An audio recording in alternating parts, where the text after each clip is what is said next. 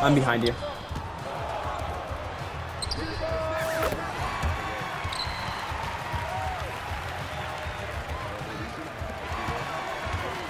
Did you see my high uh, IQ there?